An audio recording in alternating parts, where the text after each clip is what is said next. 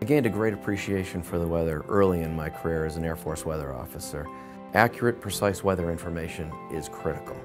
Get it wrong, aircraft can't refuel. They can't get there in time. Put paratroopers in harm's way.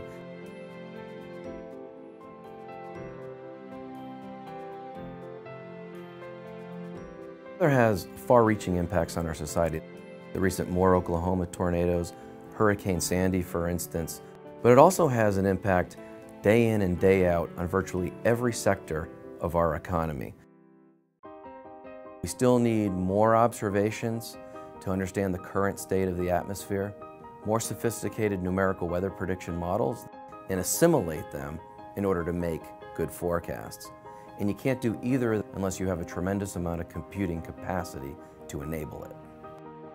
Earth Networks focuses primarily on observations and delivery of weather information, like alerts, forecasts, warnings. Decision support managers, the general public, anybody really who needs to make a decision based on the weather.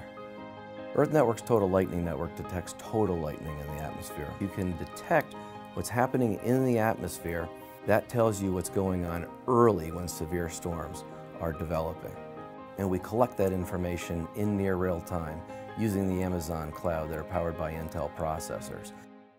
The optimal time for a tornado warning is at least 30 minutes.